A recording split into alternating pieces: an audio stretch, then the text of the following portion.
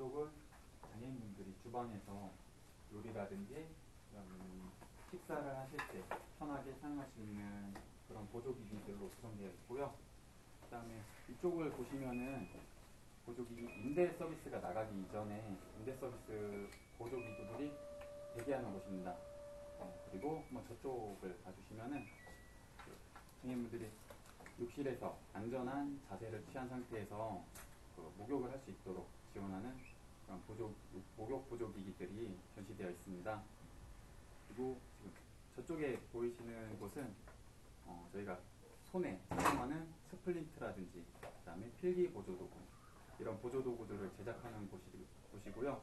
지금 보이시는 게 그 연필에 감고 있는 걸 보실 수 있는데 저거는 필기 보조도구라고 예, 그렇게 부르고요. 어, 그다음에 이쪽을 보시면은 그 저희 센터에서 맞춤 제작을 하는 그런 맞춤 제작품을 어, 보관하는 곳이고요. 어, 전시되어 있는 거를 좀 보고 말씀드릴게요. 어, 먼저 이게 목재로 제작된 lapboard고요. 주로 수동 휠체어에 많이 사용되고요. 이거는 폴리카보네이트라는 재질로 만들어진 어, 그런 lapboard입니다. 그리고 어, 요새 최근에 많이 유행하는 그런 3D 프린터로 만든 제품도 저희 센터에서 시험 제작을 한 적이 있습니다. 그리고 이런 식사를 할 때 쓰는 맞춤형 이런 숟가락도 저희가 제작을 해서 제공을 하고 있습니다.